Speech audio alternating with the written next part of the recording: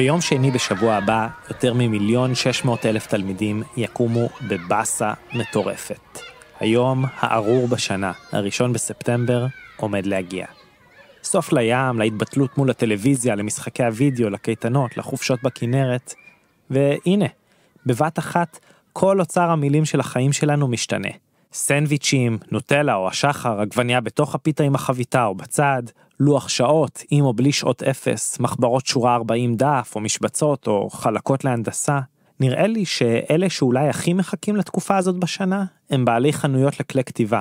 יניר, מיליגרף בתל אביב, סיפר לי שהקלמר הכי פופולרי הוא עדיין קלמר הג'ינס הקלאסי, אבל יש גם אחרים שרצים חזק. בובס פוג של דיסני, פולי פוקט של מיקי מאוס, של כל הלהקות למיניהם, פעם זה היה one direction, עכשיו יש לך את השמינייה שמופיעה בערוץ הילדים. אהלן, אני מישי הרמן, והשבוע בסיפור ישראלי, פרויקט מיוחד לתחילת שנת הלימודים, הפסקת עשר. בחודשים האחרונים צוות שלם של כתבים מסתובב בכל הארץ וביקר בבתי ספר מהרדוף עד חורה, מדימונה עד קריית ארבע. חיפשנו בתי ספר שייצגו את המגוון הדי מדהים במערכת החינוך הישראלית. בתי ספר ממלכתיים וממלכתיים דתיים וחרדים, אולפנות ופנימיות, בתי ספר של חינוך מיוחד ובתי ספר אנתרופוסופיים, בתי ספר של ילדי זרים ובתי ספר מעורבים של יהודים וערבים. ובכל בית ספר הקלטנו רגעים, בהפסקה. בדרך כלל המיקרופון שלנו הפך מיד לאטרקציה המרכזית בחצר, והכתבים שלנו היו צריכים להדוף הסתערויות של חבורות ילדים שכולם רצו למסור דש לאימא. אני, אני מוסר דש לאימא שלי, אה, חדווה. לשיר לנו את הג'ינגל של גלגלצ. גלגלצ. או להגיד ש... אני רוצה למסור דש ליעל ברס, הילדה הכי שווה בכיתה. אבל מצאנו גם המון המון סיפורים קטנים וחמודים ומצחיקים. ובפרק הזה הבאנו לכם 12 מתוכם, מכיתה א' ועד כיתה י"ב, מ-12 בתי ספר שונים. כשחיברנו את הכל ביחד, התבגרות של 12 שנים דחוסים לתוך שעת רדיו אחת, חשבנו שזה קצת כמו הסרטים האלו בפאסט פורד, שמראים עונות שמתחלפות או לופים מהירים של שגיאות וזריחות. כמה שהאוכלוסיות והרקעים בפרק שונים, הם מספרים סיפור מאוד ישראלי, או אולי פשוט מאוד אנושי, על איך שאנחנו מתבגרים, ואיך שהסיפורים הקטנים שאנחנו מספרים אחד לשני בהפסקות משתנים ככל שאנחנו גדלים. אז יאללה, בואו נתחיל. אדגר קרת מוציא את המסע שלנו לדרך בבית ספר תלמוד תורה דרך המלך מרשת מעיין החינוך התורני, באלעד. שלום כיתה א'. ביום הראשון של כיתה א' הייתי קצת עצוב, ואחי הגדול ניסה לעודד אותי. בית ספר זה בדיוק כמו גן, הוא אמר. רק שיושבים יותר צפוף ואסור להחליף מקומות, ויש המון שיעורי בית. וזה כיף? שאלתי. זה כמו קפה ענה אחי הגדול אחרי סוס קל. זה מגעיל, אבל כל מי שמספיק גדול חייב. אני רוצה לשאול אותך שאלה. אתה היית גם בגן וגם בבית ספר. מה יותר כיף, גן או בית ספר? בגן אין שיעורים ואין לי כוח לעשות את השיעורים. אם עכשיו פתאום היה, ראש הממשלה היה אומר, לא צריכים ללכת לבית ספר, רק מי שבא לו הולך לבית ספר ומי שבא לו נשאר בבית, מה היית עושה? הולך לבית ספר או נשאר בבית? הולך לבית ספר. לא, אז למה בכל אופן אתם רוצים ללכת לבית ספר אפילו שבית ספר קצת פחות כיף? לא רציתי, אבל אמרתי אין מה לעשות. אוקיי. לא, לא נעים, אבל חייבים, אתה אומר. כן. על הקיר של כיתה א' בבית הספר תלמוד תורה באלעד, יש ציור של ילדים משננים פסוקים, ומתחתיו ציטוט: אין העולם מתקיים, אלא בשביל הבל תינוקות של בית רבן. אז שמענו בעצת רבי יהודה הנשיא, וצללנו לוויכוח עקרוני בין הלל ואריאל בסוגיה התמיד רלוונטית, מה יותר גרוע, לקלל או להרביץ. להרביץ. לקלל. זה דבר יותר מסוכן, מה יש לך? להרביץ זה לא מסוכן. להרביץ זה לא מסוכן, יכולים לפתח ראש. ראש זה לא קשור, אחרי זה אתה לא מת. אם אתה תגיד למשל תמות, זה יכול להתקיים. אבל אם אתה מרביץ, זה לא כואב. לא כואב, יכולים לפתח ראש. אם מישהו עכשיו שומעים את הרדיו, אז הם שומעים אותנו? בתכנים מפורסמים. וזה רועי, ששמעתם בהתחלה. דיברנו איתו קצת, על כבוד. יש לכם אחים גדולים שכבר היו בבית ספר? אין לי. יהיה לי. יש לי שתי אחים קטנים, אחד בן שלוש ואחד בן שנה וחצי. ומה הכי כיף, להיות הבכור או להיות הכי קטן? הבכור. כי תמיד צריכים לכבד אותו. וגם הוא הכי גדול והכי חזק גם, נכון? אז אם לא מכבדים אותו, אז אוי ואבוי לאחים הקטנים שלא מכבדים אותו. אחותי, אחותי לא מכבדת אותי. אז איך אתה מלמד אותה לכבד אותך? אני לא יודע איך ללמד. אני אומר לה, אני יותר גדול ממך. אבל היא, היא, היא, היא מנסה להתחכם איתי, היא מנסה להגיד לי, אה, אני יותר גדולה ממך. היא עולה על כיסא ואומרת, אני יותר גדולה ממך. ואבוי. ותגיד, וזה לפעמים, זה לפעמים באמת זה מרגיז שלא מכבדים אותך? כן, אז מה אתה עושה? מה אני עושה? מתעצבן, לא יודע מה אני עושה. אני מזהיר אותה, מזהיר, מזהיר, מזהיר. אה, כמה פעמים כבר הספיק לי, אה, אני, אני כבר מתחיל להעניש אותה. אה, בשבת, אני מתחת למיטה, פתאום היא קופצת לי על הראש, התעצבנתי. באתי עד אליה, היא ישבה ככה בצד, אני דחפתי אותה עוד יותר, שתלמד לקח. והיא לומדת לקח מזה? לא, אז אולי זה לא, אולי זה לא שיטה טובה אם היא לא לומדת לקח. תגיד משהו, מה עשית מתחת למיטה בשבת? אני משחק שם. אף אחד לא מציק לי, אף אחד לא רואה אותי, וגם זה מחבוא. אמא שלי מנסה, כשאני עושה משהו רע, אז אני בורח מהר מתחת למיטה, ואז היא לא יכולה, אני כבר כואב לה הגב, היא לא יכולה להתכופף, אז, אז אני מתרבה לה מתחת למיטה. אז למרות שיש כאן קונצנזוס שגן יותר כיף מבית ספר, יש גם הסכמה שיש דברים גרועים יותר, כמו אחיות קטנות ואימהות כועסות. אבל רגע לפני שניפרד, עוד עצה מאריאל. אם באים ילדים חדשים שנה הבאה, שהם עוד אף פעם לא היו בבית ספר, אה, מה העצה הכי טובה שאתה יכול לתת להם? לשחק, תופסת דגדוגים. אל בית הספר אל חלי, אלמד יום יום עכשיו. אשוב עם כלות הלימודים, ונשתעשע יחדיו. ועכשיו לכיתה ב'.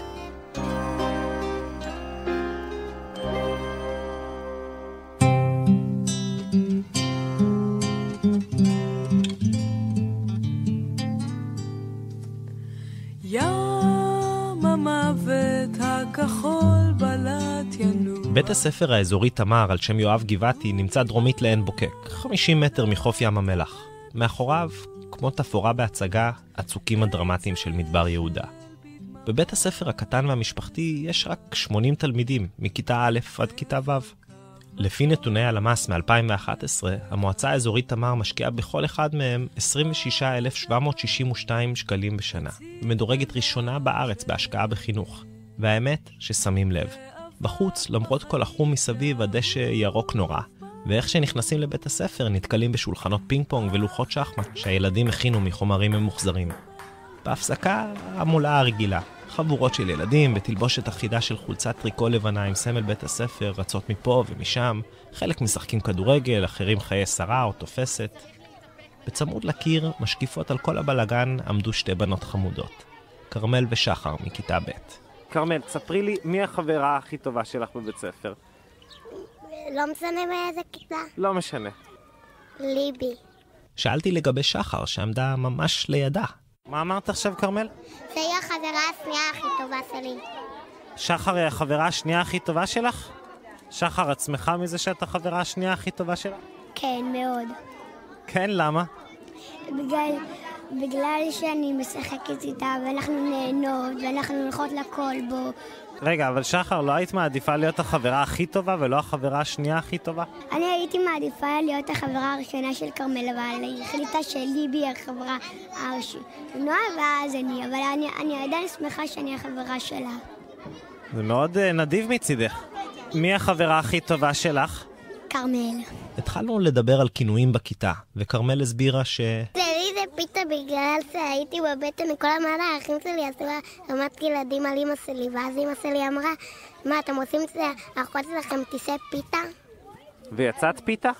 יצאתי רס"ל, כן. שלום. כמה אחים יש לך, כרמל? שלושה. גדולים? כן, ומעצבנים. בשצף קצף, כרמל וירדן התחילו לספר איך לא מזמן האחים הגדולים של כרמל גנבו להם מסטיקים, אז הם הרביצו לנו, ואז אנחנו החזרנו להם, ואני נתתי להם בטעות בתחת. טוב, בכוונה.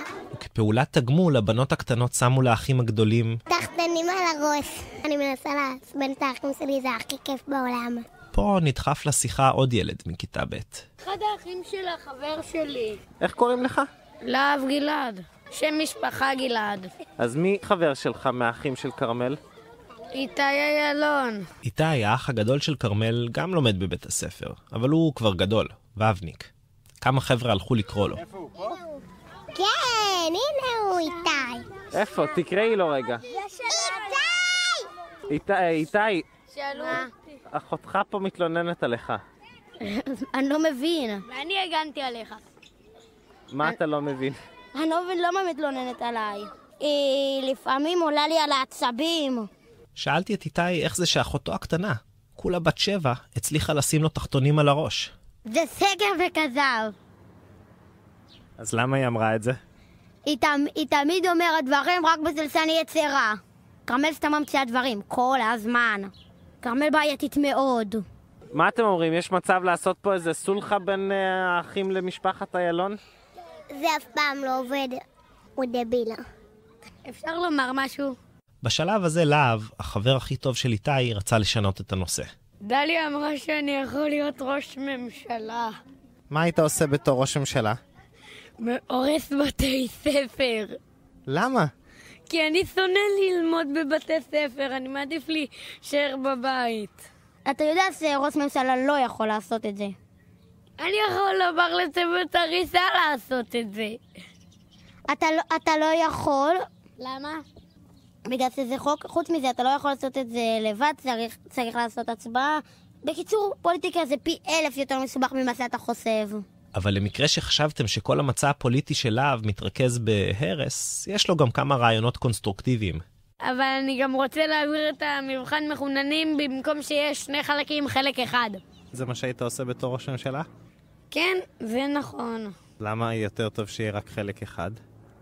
כי אז זה יהיה קל יותר. ואתה מחונן?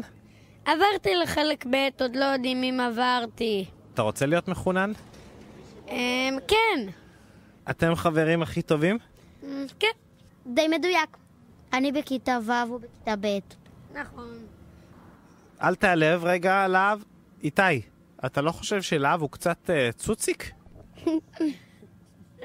לא, לא ממש. לומר את האמת, גם אני קצת ילדותי. יש לי סלסילה מלאה בבליידים. וגם יש לו שני בידמנים, אנחנו אוהבים את שניהם, אפילו בקוגן. אתה חושב שלהב יהיה ראש ממשלה? כשהוא יגדל בעוד כמה שנים, אם הוא יעבוד ממש כזה, יש לו סיכוי. איתי החליט לרדת מכס הפרשן הפוליטי ולחזור לנושא האהוב עליו. כשאומרים לי כרמל, אני חושב על מיליון דרכים לאמלל אותה. או, וזה הודעה לכרמל, כרמל, אם את שומעת את זה, כדאי לך להתכונן לאחד באפריל הבא. מה תעשה ב-1 באפריל הבא? בוא רק נאמר שזה יהיה היום הכי מסריח שלה. סחר, כרמל, תתכוננו למות. במובן הסלנגי.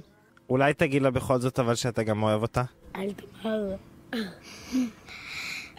תאמר, אני שונא אותך. אני לא אצליח לגרום לך להגיד לה שאתה אוהב אותה? גם לא בעוד מיליון שנה. יש לי משהו להגיד לך. האם אתה מאמין לי כשאני אומר לך שבעוד כמה שנים, אפילו לא עוד הרבה שנים, אתה וכרמל תאהבו אחד את השני מאוד מאוד ותהיו חברים הכי טובים? אם היא תפסיק להיות קנאית מעצבנת, יש סיכוי. מעודד מהרוח הפייסנית של איתי, חזרתי לכרמל וחבורת הבנות שהקיפו אותה.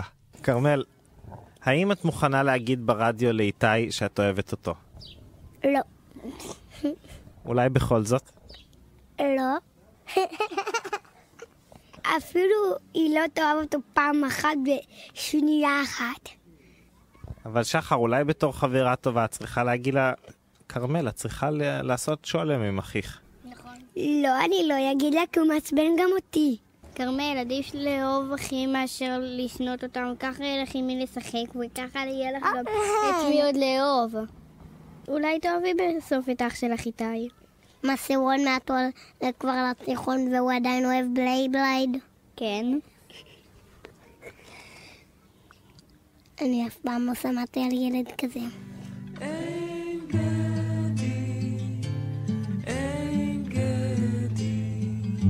הילדים בבית הספר האזורי תמר הם סופר ממושמעים.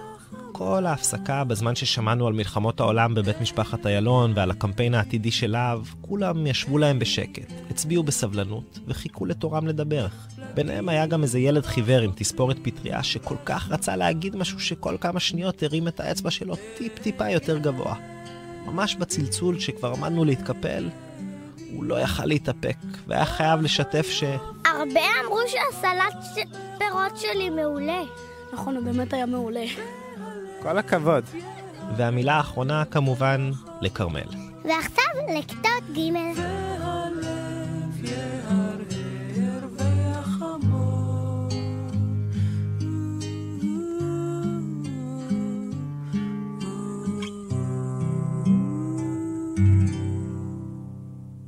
לפני כמה שנים הייתי החונך של ג'לון, ילד ניגרי חמוד בכיתה ג' שגר בשכונת התקווה. פעמיים בשבוע הייתי מבלה איתו את אחר הצהריים במגרש של בית ספר הירדן, במשחקי כדור ותופסת. אז, ב-2011, בית הספר היה מעורב, 40% ילדי זרים ו-60% ילדי ישראלים. בשכונה, מחוץ לשערי בית הספר, היחסים בין הזרים לתושבים הוותיקים התחילו לבעבע. מירי רגב סיכמה אז עוד סיור מתוקשר שערכה בשכונות הדרום. אין ספק שאנחנו צריכים למצוא לזה פתרון. והפתרון הוא מאוד פשוט, להחזיר את מהגרי העבודה בחזרה לארצות מוצאם. את מהגרי העבודה צריך להעביר במיידי לסהרונים ולקציעות, להוציא אותם ממרכזי הערים שלנו. אבל כל זה לא חדר למגרש בירדן. הוא היה איזה אי קסום של דו-קיום. מקום שבו ילד ניגרי צנום נשפט לא על פי צבע עורו, אלא על פי המסובבת הקטלנית וכמה הוא יורד לעזור בהגנה. כשעשו כוחות, ג'לון תמיד נבחר ראשון או שני. אז חשבתי, בשביל הפרק הזה, לחזור לירדן ולהביא איזה סיפור קטן אך מרומם, משיב נפש, על היכולת של ילדים לחיות בדו-קיום. אבל המציאות היו תוכניות אחרות. בית הספר שמצאתי היה שונה מאוד מזה שזכרתי מלפני שלוש שנים.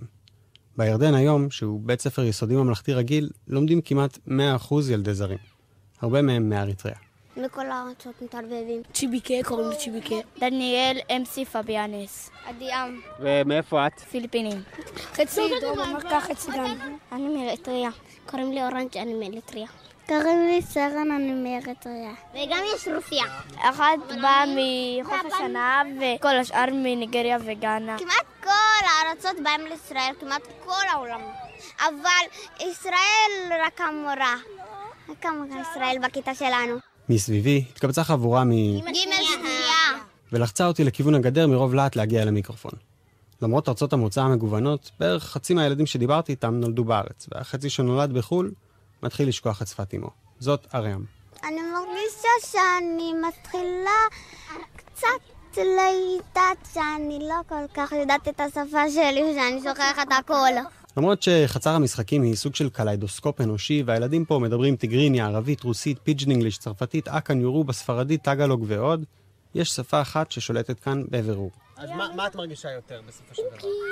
אני מרגישה שאני יותר ישראלית במקום להיות אריתראית. אריאם סיפרה לי שהיא מתה על ישראל, במיוחד כי שיש פה מאוד הרבה בובות שמדברות. לא רק שהבובות שלה מדברות אליה בעברית, היא כותבת ביומן שלה בעברית. בעיקר רשמים מצפייה אובססיבית בסדרת הטלוויזיה גאליס, בערוץ הילדים. אם אתה רוצה לברוח והכל נראה אפור יש מקום בו תראה אחרת את כל הצבעים שרק תחלום ואם לא זיהיתם עכשיו את שיר הפתיחה, אז אתם כנראה ממש לא בכיתה ג'. גם את החלומות שלה, אריאם חולמת בעברית. אני, אם אני אהיה גדולה, אז אני רוצה להיות תרופה, אז אחר כך, אם אני יכולה, אני יכולה לטפל בעצמי לבד במקום שמישהו אחר יטפל בי. הסתכלתי מסביב על כל הפרצופים הצבעוניים, ותהיתי לאן כל הילדים הישראלים שלמדו פה נעלמו. יצאתי החוצה משער בית הספר, והתחלתי לקפל את הציוד, כשפתאום ראיתי קבוצה של ילדי בית ספר אחר, כולם נראים צברים, צועדים בשורות מסודרות לכיווני. איזה בית ספר אתה? הגליל. הגליל. הגליל, איפה זה? פה. מהר מאוד התקבצה סביבי ההמולה הרגילה של ילדים, שניסו לשכנע אותי לחזור איתם לגליל, שהוא ממש מעבר לכביש. אתה תהיה מלך תשתה כוס קפה. הגליל בית ספר יותר משופר. יותר יפה, יותר יפה. יותר אסתטי, יותר טוב, ויש שם חינוך. אבל אז המורה התעצבנה על הבלאגן שיצרתי. זאת לא התנהגות. אני רוצה לראות אתכם בזוגות, אני לא זזה. היא החזירה את כולם לשורות, והם המשיכו לכיוון בית הספר. אחר כך עשיתי קצת בירורים, וגיליתי שבלי לחוקק אף חוק באופן ספונטני, תושבי השכונה הוותיקים התחילו לשלוח את ילדיהם לגליל. התקבלה מין החלטה קולקטיבית לייחד את הירדן לילדי הזרים, ונוצרה דה פקטו סגרגציה במערכת החינוך. אבל ילדים משני בתי הספר סיפרו לי שאחרי הלימודים, הם עדיין נפגשים במגרש השכונתי למשחקי כדורגל משותפים. ועכשיו לכיתה ד'.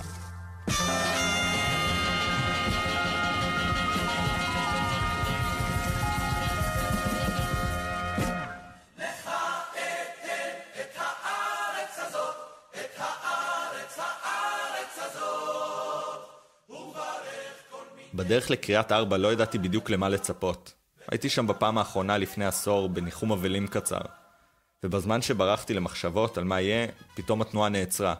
היה חשד למטען על הציר, כנראה פשוט איזה שקית זבל שמישהו זרק מהאוטו. קצין צעיר סימן לנו לחזור לכיוון תלם, התנחלות צמודה. ישבנו בבודקה של השומר בזמן שהרבש"ץ העביר תדריך שמירה לכמה חיילים.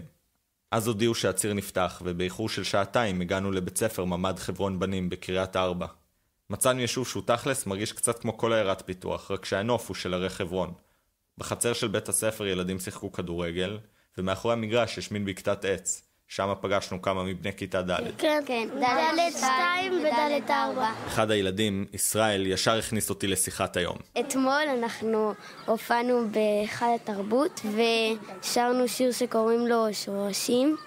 אני הייתי סולן והוא במקהלה, הוא במקהלה, הוא, הוא והוא. ויש לי שאלה, להיות במקהלה זה דבר מגניב? כן. כן. כן. כן, זה כיף. זה טוב. לומדים לשיר, זה כיף. וגם כולם, כל המורים אומרים שזה גם עוזר, אה, זה מחנך אותנו. ועוזר כאילו לאחריות, חיוביות.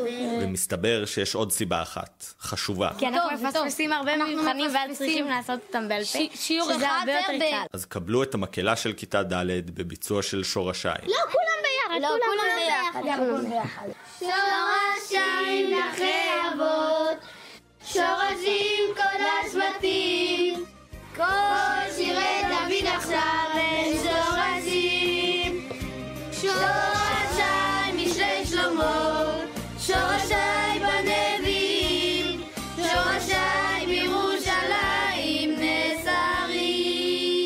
בזמן שהמקהלה שרה, ישב לידינו ילד אחד, חמוד לאללה, שפשוט הקשיב והסתכל על החברים שלו שרים. ספר שנייה, למה אתה לא במקהלה? כי הרב ניר בוחר מי יהיה במקהלה ומי לא.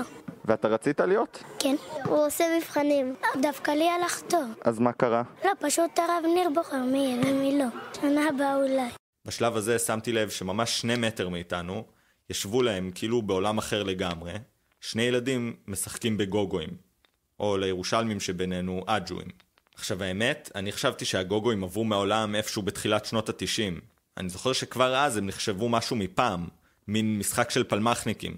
אבל בקריית ארבע, גוגואים הם עדיין הדבר. ואנחנו משחקים והמטרה היא להרוויח יותר. אפשר מקרוב להכיר, ואם אתה יותר קרוב להכיר אז אתה מרוויח. אפשר גם לשחק פגיעות זורקים, ומי שפוגע באחד אז הוא לוקח את כל, מי, את כל הקהל שכבר זרקו. אז מי פה בכיתה ד' הכי טוב בגוגואים? בקרוב להכיר אני. בכיתה המקבילה אני לא בטוח, בכיתה שלי כן. יש לי פה בכיס. יש לך פה? 500 ו... אתה סופר אותם? כן, כל שבוע. עכשיו, בזמנו הייתי לא רע בגוגואים. אמנם חלפו 20 שנה מאז הפעם האחרונה ששיחקתי, אבל משום מה הייתי די בטוח ביכולות שלי. הזמנתי את פנחס, האלוף של כיתה ד' בגוגואים, למשחק של קרוב להקי.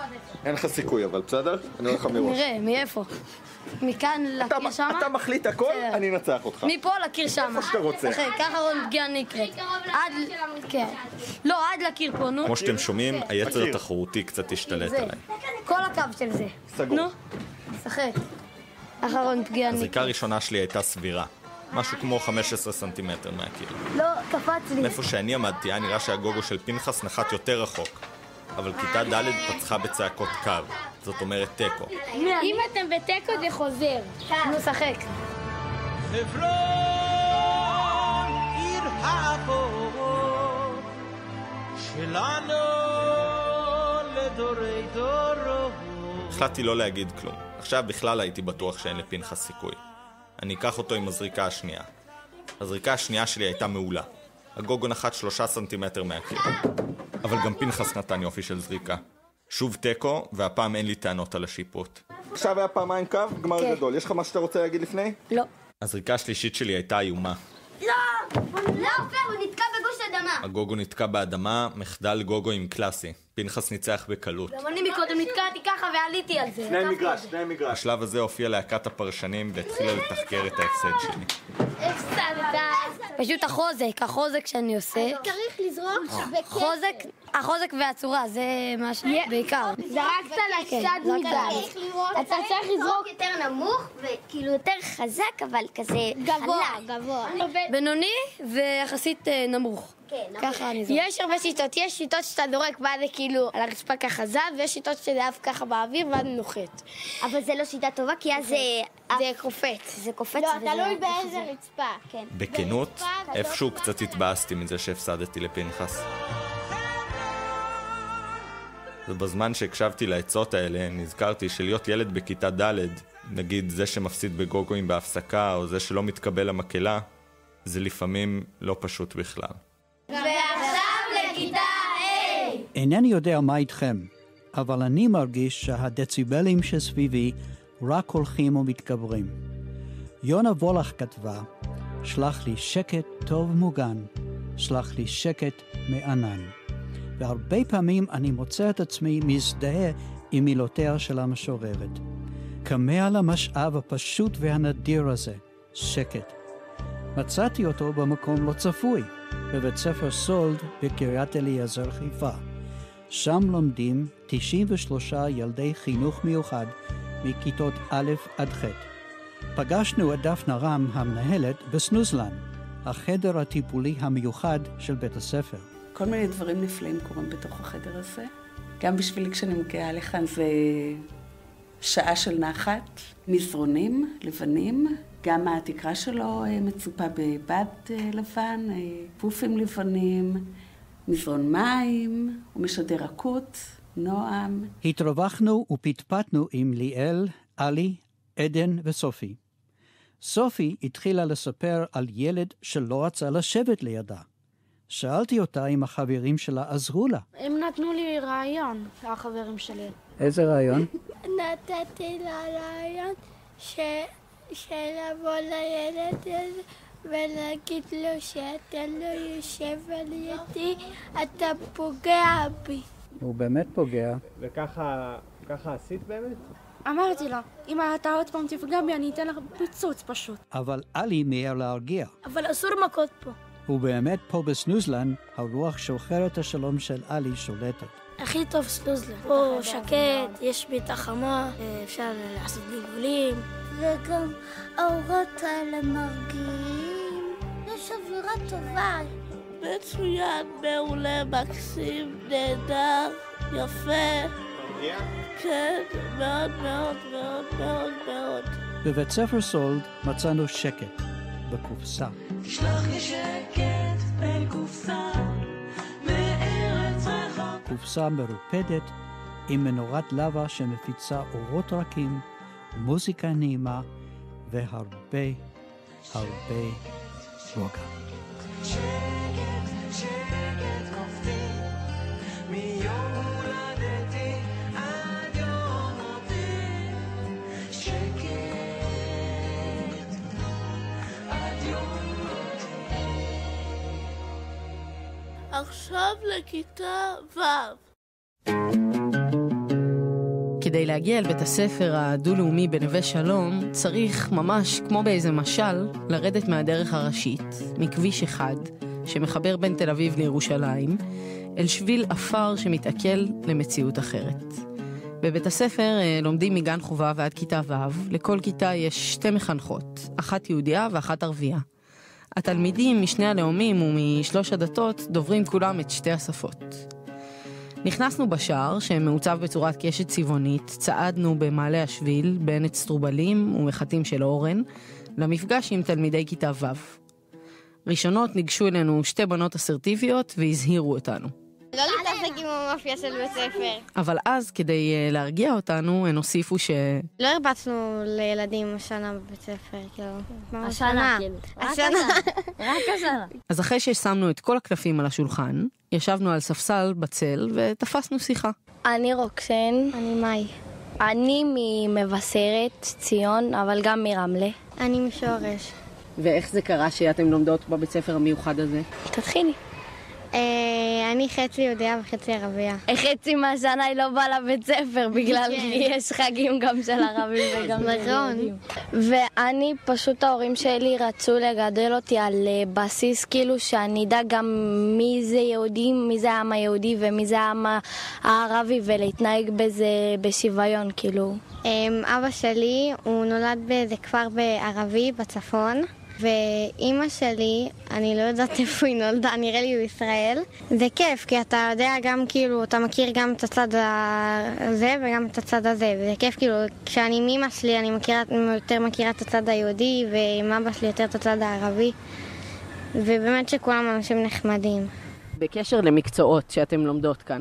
למשל, מה אתם לומדים בשיעור היסטוריה? המורים פה מנסים ללמד אותנו שהיהודים והערבים שווים. אה, שווים והיה עבר מאוד טוב גם לערבים וגם ליהודים ועבר אה, כבר עבר ולא צריך, אה, אם הערבים עשו משהו רע ליהודים זה לא אומר שהערבי שבבית ספר פה הוא אישית עשה משהו אז לא צריך להתנפל עליו וזה.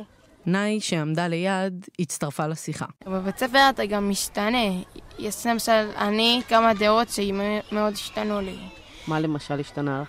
כאילו בהתחלה, אני חשבתי שזאת האדמה שלנו, אז שהיהודים יהיו בחלק קטן ולנו יהיה חלק גדול. עכשיו לדעתי בכלל לא צריך לחלק את זה, צריך שיהודים וערבים יגורו ביחד. אנחנו לא נולדים גזענים, כאילו. הם עושים אותנו. מי עושה אותנו? הם ההורים שלנו, הסביבה שלנו, איפה שאנחנו חיים. וזאת מרווה, שאחרי שזיהתה מה הופך אותנו לגזענים, גם ידעה להציע פתרונות.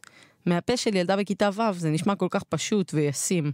שאחד יקבל את השני ולא להיות גזען ושיהיה עוד בתי ספר כאלו כי כולם ילמדו ושנהיה קטנים נלמד שגזענות זה משהו לא טוב. השיחה עם הבנות ריתקה אותנו מבלי ששמנו לב, הזמן טס וההפסקה נגמרה. חזרנו גם אנחנו לאווירת בית ספר, פחדנו שהמורה תכעס, ואמרנו לילדים סביבנו שהם חייבים לחזור לכיתה. לא, לא, לא, לא, לא, לא צריכים, אנחנו עם אותה מורה, אנחנו יכולים להישאר. הילדים לא רצו לחזור לשיעור, וגם לנו היה קשה להיפרד מנווה שלום ולחזור לדרך הראשית והסואנת. מאי עוברת עם המשפחה שלה לחיפה, שם תלך לבית ספר ערבי, ורוקסן עוברת לחטיבת ביניים בבית שמש. אבל הן מבטיחות להישאר חברות טובות לנצח. אנחנו ממש עושות את הבלאגן של החיים שלנו, כי זה השנה האחרונה שלנו פה. ואנחנו אמרנו שלמרות שזה השנה האחרונה שלנו, אנחנו הולכים להיפגש. כשהקלטנו את ילדי וילדות כיתה ו' בנווה שלום, זה היה בסוף שנת הלימודים, והיה ריח של חופש גדול באוויר. כשהתיישבתי לערוך את הקולות האלה, הימים הם ימי מלחמה. ואני תוהה מה יהיה בתחילת שנת הלימודים, בשנה החדשה. יהודה עמיחי כתב פעם שחלונות חדרי כיתה תמיד פונים אלי עתיד. ואני חושבת לעצמי מה מאי ורוקסן יראו מבעד לחלונות הכיתה בבתי הספר החדשים שלהם. ומקווה שיקחו איתן קצת מהנוף שנשקף פה בין האורנים בנווה שלום. וואלה, סוף סוף ספר. ועכשיו לכיתה ז'.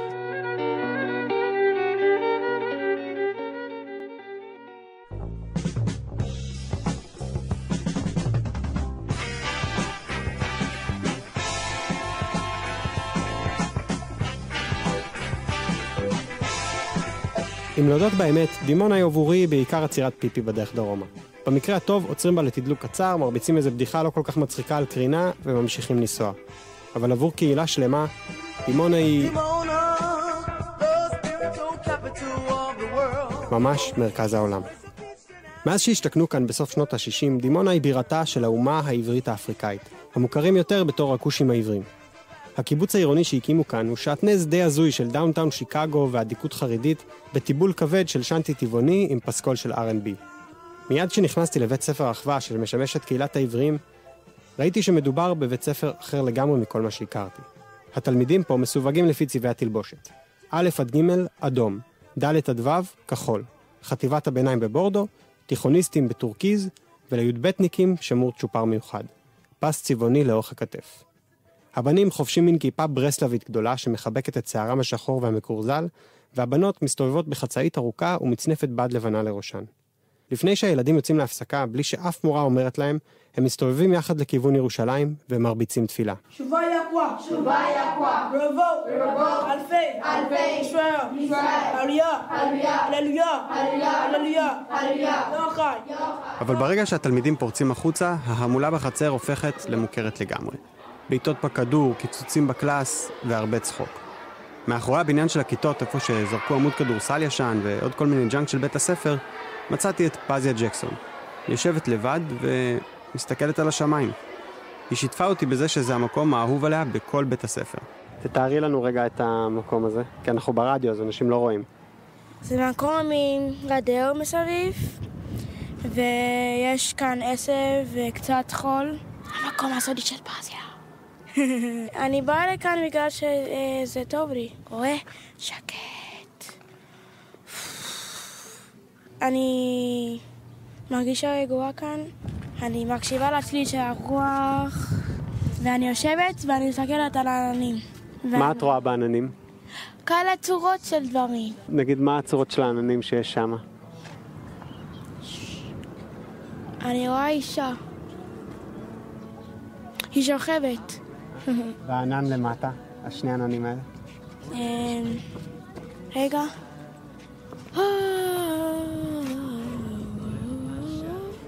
אני רואה דינוזאור. איפה? רואה? רואה? הראש שלו ככה, ואז הפה שלו ככה, והוא יש לו כזה אש יותר. ואת יושבת פה ככה לבד ומסתכלת על העננים? אני רוצה קצת שקט, כן. זה כמו משהו רגוע. השקט זה כמו ליטוב ורגוע, שאני מרגישה חופשייה וטוב לי, כן. לפעמים אני רוצה להפסיק עם החברות, כי הן תמיד מציקות וכאלה, הן הן כמו קוצים, קוצים שכאלה...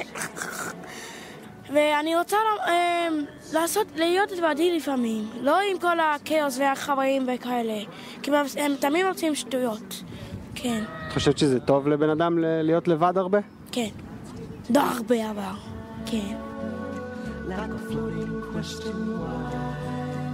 השיחה עם פזיה זרמה כמו הרוח המדברית שעטפה אותנו, אבל הפעמון בישר על סוף ההפסקה. והיינו צריכים לחזור להמולה. חזרנו לכאוס וכאלה. הנה שלושת הקוצים. אבל למרות התלונות שלה, פזיה חברה לחברות שלה בריצה, ומהר מאוד הן חזרו להיות דבוקה מגובשת שריכלה במרץ בדרכה לשיעור הבא. ואני נשארתי לבד בחצר השקטה, להסתכל בעננים. ועכשיו לכיתה ח'.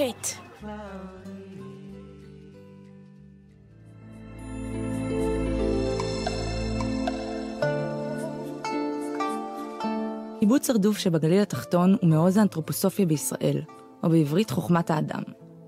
הקהילה שחיה כאן מנסה להמשיך בדרך שהתווה המורה והפילוסוף האוסטרי רודולף שטיינר בסוף המאה ה-19. הגעתי לכאן לבית ספר ולדורף מאוד סקרנית. שמעתי שמועות על ילדים היפים שמסתובבים יחפים ואין להם מחשב בבית. איך ילד בכיתה ח' יכול להסתדר בלי טלוויזיה, פלאפון או פייסבוק? יש לי אחים בני חמש שלא ראו טלוויזיה. הם רואים, כאילו מדברים בסקייפ עם הסבים שגרים בתאילנד, אבל לא יותר מזה. הם כאילו צוחקים עלינו שאנחנו מחבקי עצים. סתם שטויות, אין לי מושג מי המציא את זה. אני כאילו, מאז שמו לה את את הקטע הזה של מחבקת עצים, אני לא מעיזה לחבק עצים. במקרה, ביקרתי ביום מיוחד. יום אחד לפני היום האחרון של השנה. והילדים של כיתה ח' ממש התרגשו, כי הם עמדו לעזוב את הקן ולעבור לתיכון. החזרות לטקס הסיום היו בשיאן. בקיבוץ הרדוף הקטן והאורגני שלנו, כל אחד מאיתנו בעצם אנתרופוסוף וסתר, המנסה לשרוד לעצמו איזה קרב חמימה מצמר דוקרני. תשאלו בוודאי מאיפה התחילה דרך חיים זו. או, אז אני אגיד לכם, אין לי מושג, אבל זו דרך חיים, ובזכות דרך חיים זו הצלחנו לסיים את בית ספר בהצלחה.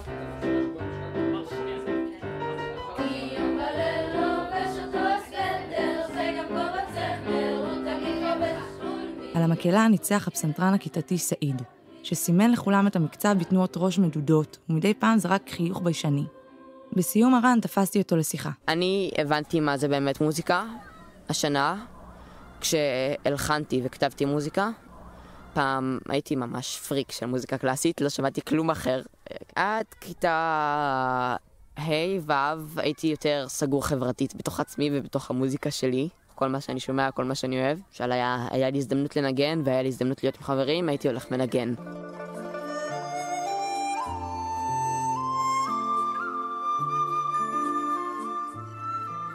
ישבתי בצל על דק עץ שנבנה סביב אחד מעצי הזית בחצר. סעיד סיפר בגאווה שהוא וחבריו לכיתה בנו אותו בעצמם, יחד עם המורה לנגרות. היה ברור שהוא מאוד אוהב את בית הספר. כאילו, זה בית. זה לא, זה לא הרגשה חריגה כזה. כאילו, אני רגיל לפה, כולם רגילים אליי. סעיד הוא בין הילדים הבודדים בבית הספר שגר ביישוב ערבי, בשפרעם הסמוכה. רוב הילדים מגיעים מהקיבוץ עצמו או מיישובים בסביבה. אין לי הרבה חברים בשפרעם. כשאני הולך פעם, שלוש פעמים בשבוע לפסנתר בקונסרבטוריון, אז רק שם אני פוגש חברים, כאילו, אנשים שאני מכיר ככה. אבל לא אנשים שאני נפגש איתם ואחרי הצהריים וכאלה. יותר בן אדם של בית. אני מרגיש ששפרעם זה מקום, וברגע שאני נכנס לבית שלי זה מקום שונה. שאלתי אותו איך הוא מתמודד עם הדילוג היומיומי הזה בין שפרעם להרדוף. זה, אני לא אגיד עיבוד זהות, כי זה כבר הנושא הרבה יותר מסובך. למשל בבית עם אח שלי הקטן אני מדבר הרבה עברית, מאשר ערבית. כאילו 80% עברית איתו. זה יכול להיות מבלבל, לאן אתה נוטה ללכת, באיזה כיווני אתה. אני רוצה פשוט להיות עצמי, עם האנשים שאני אוהב, עם מי שאוהב אותי. למרות שסעיד, כפי שהוא מעיד על עצמו, נפתח והפך פחות ביישן בשנים שלו בבית הספר, היה קשה לשכנע אותו לנגן עבורי משהו. אבל אחרי תחנונים רבים וגם לחץ מתון של החברים המפרגנים סביבו, הוא לקח אותי לפסנתר שבחדר המוזיקה, וניגן לי קצת שייקובסקי. אבל זה הכל בשלבים של כאילו אימונים, זה עדיין לא דברים מוכנים. חשוב להגיד את זה, כי זה מלא טעויות. אוקיי? זה מלא, מי שמכיר את זה, התחיל לצחוק עליי שמה.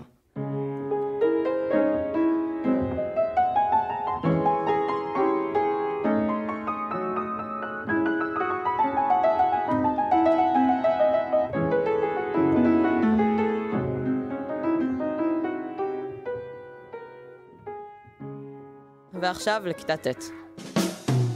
כשנכנסתי לאולפנה התורנית מדעית באשדוד, הדבר הראשון שראיתי היה ציור קיר ענק שהסביר מה זה להיות יהודי, או האמת, יותר נכון, מה זה להיות יהודייה.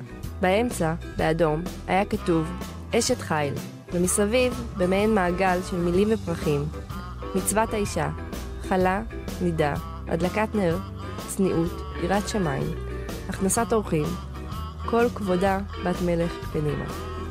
ומבין כל המצוות האלה, גיליתי שיש אחת שממש מעסיקה את הבנות מכיתה ט'. צניעות מבחינתי זה לדעת שיש דרכים אחר, אחרות מאשר אה, למשוך, אה, תשומת, למשוך תשומת לב של אנשים.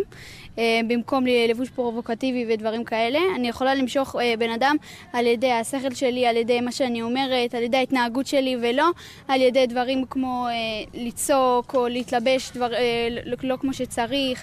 וזה גם לשמור על, ה, על התחושה שלי ש, כאדם טוב, שככה אני ארגיש שאני לבושה... אוריאן המשיכה לדקלם, בשצף, את מעלות הצניעות. וכשכבר התחלתי להרגיש קצת רע, שבאתי בג'ינס, היא שיתפה ש... אז הייתי בקניון עם אה, חברות שלי, והיו שם כמה בנים ליד, ואני מודה שקצת ניסיתי להרשים אותם.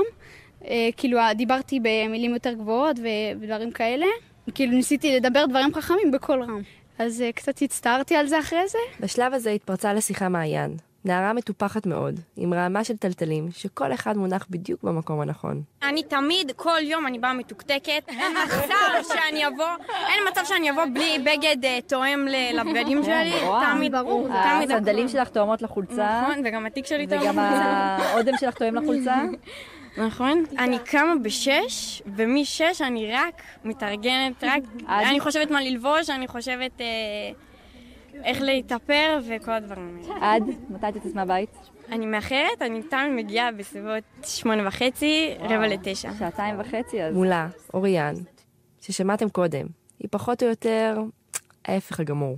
אני די זורקת על עצמי דברים ויוצאת. ובבת אחת, באמצע ההפסקה, התעורר בקרב חבורת הבנות סביבי ויכוח ערני. שמתנהגים שונה ליד בנים בשביל שהבן יסתכל, זה אולי בשביל ש... להיות יותר כאילו עם כבוד, לא שיחשבו שאת איזה... יותר כבוד? חסרות כבוד. אם אני עם חברות שלי, אני אהיה הכי פתוחה, אני אתנהג איך שבא לי. אבל ליד בן אני לא אתנהג ככה, כי זה כבוד בסיסי, שבן לא יראה אותך מתנהגת ככה. מה קשור כבוד? הדיון ההלכתי סלש פילוסופי הזה צניעות, כן או לא, משך קבוצה הולכת וגדלה של בנות שהצטופפו סביבנו. כנראה שציור הקיר עושה את העבודה. המילים כבוד ומכובד עלו שוב ושוב, אבל אז אוריאן שלפה את הטיעון המנצח, בזכות הצניעות. טיעון שאיתו כל בחורה, יהודייה, טובה או לא, יכולה להסכים. אני עכשיו כעיקרון מעדיפה שזה יהיה ככה. כי אז אני לא צריכה להשקיע כל כך הרבה שנים בבוקר. יפה כמו שאת, לא צריכה להשתנות. באחת מעינייך ליבבתי, כל יופייך, מיוחסת שכמותך ופנימה כך, מימים ימימה. ועכשיו על כיתה י'.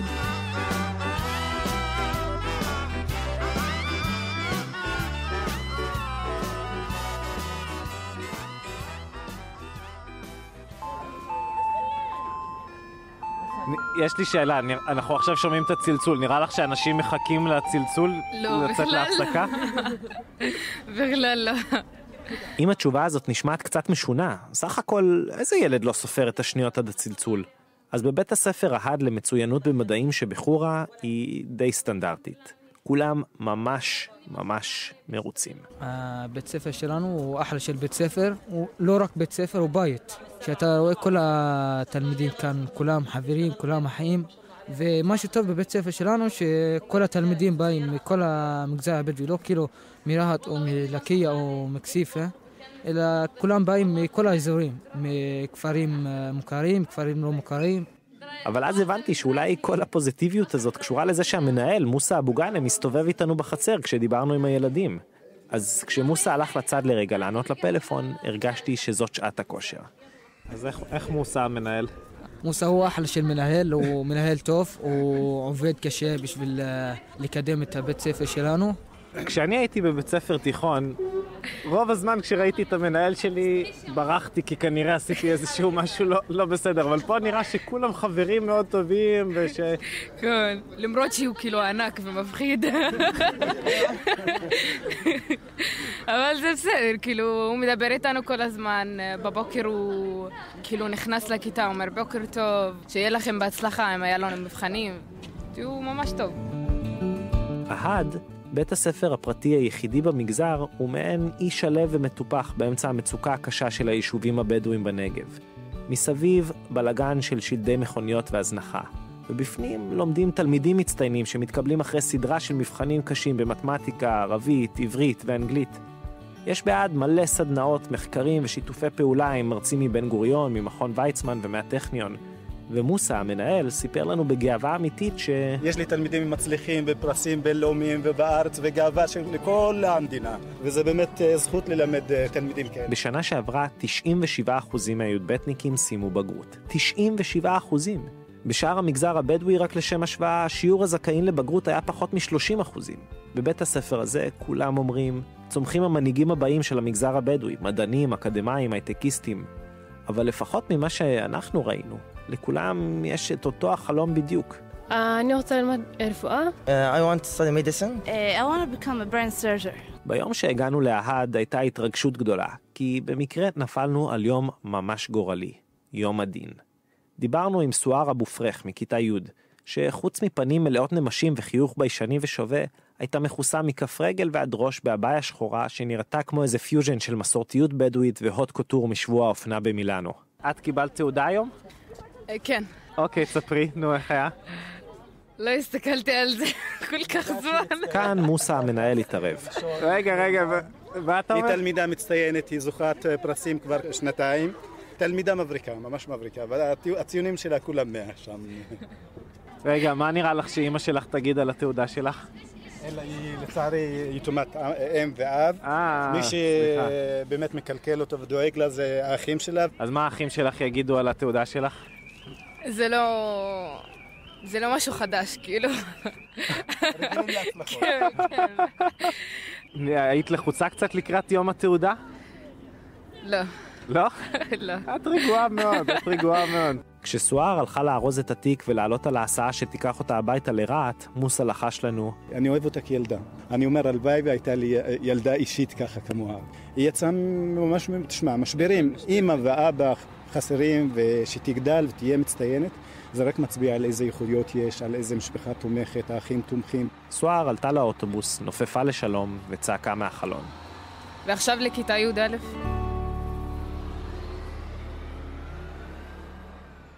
הכניסה לפנימיית אהבה נמצאת ברחוב חד סטרי ושקט בקריית ביאליק. נכנסנו דרך שער ירוק וקטן, מוקף צמחייה ושלט קטן מעץ, אהבה, בית ילדים ונוער.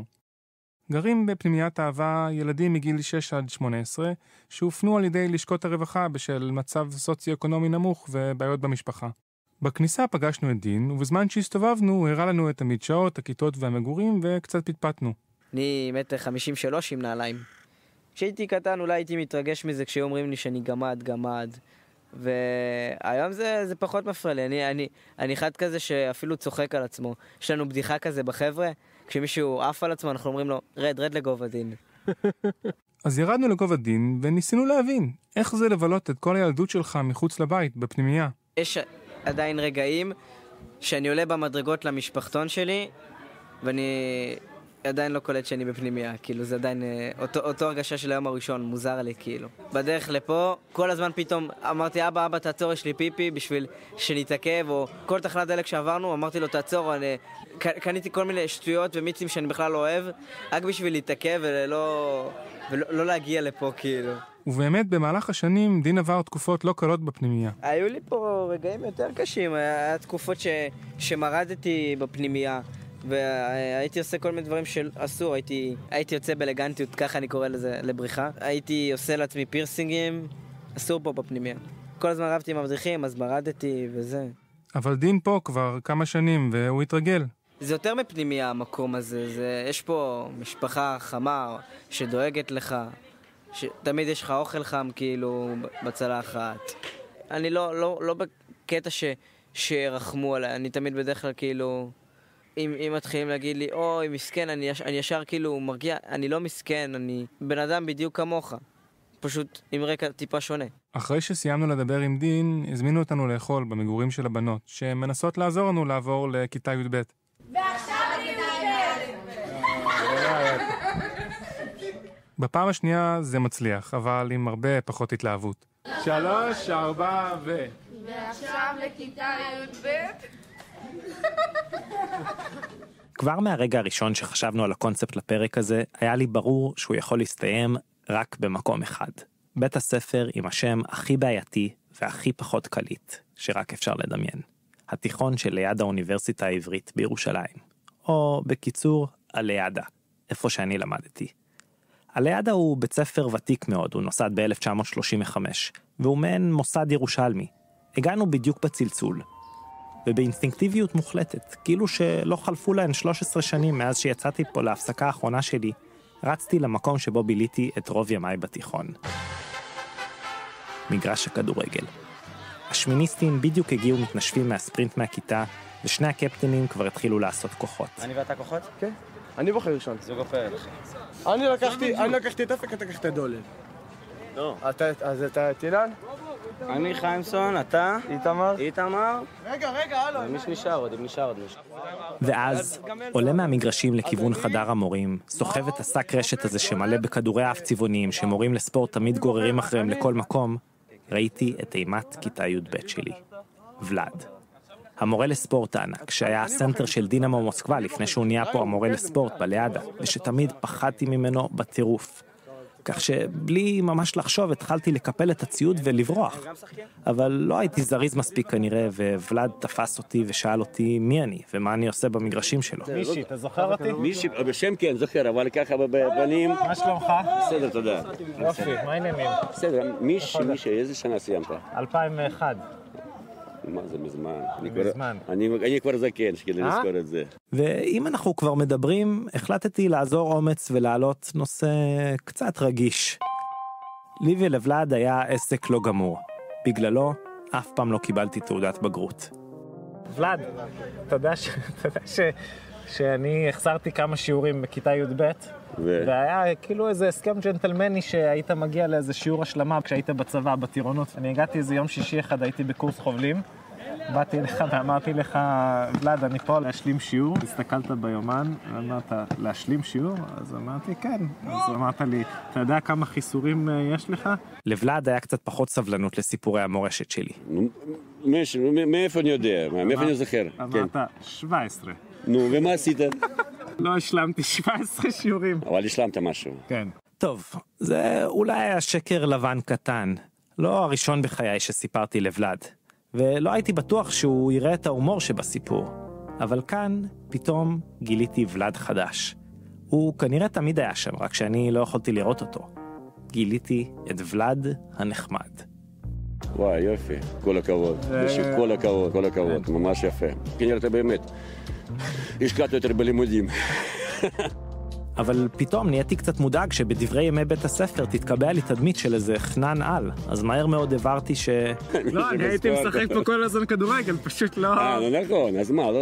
ומכל הנחמדות החדשה הזאת של ולד, חשבתי שאולי אני עוד יכול איכשהו לצאת מההקלטות לפרק הזה עם תעודת הבגרות המיוחדת. אני אבוא להשלים שיעורי ספורט יום אחד. מה, אז לא השלמת עדיין, באמת, מה, אתה- איך אתה חי ככה? כמה אני צריך להשלים? נו מה, אני צריך להוציא כאילו יומן. אבל רגע, אז מי נתן לך אישור כאילו זה, ל- מישהו נתן לך בגרות? או שעדיין בבגרות? זה לא לרדיו. טוב, טוב, נו בסדר.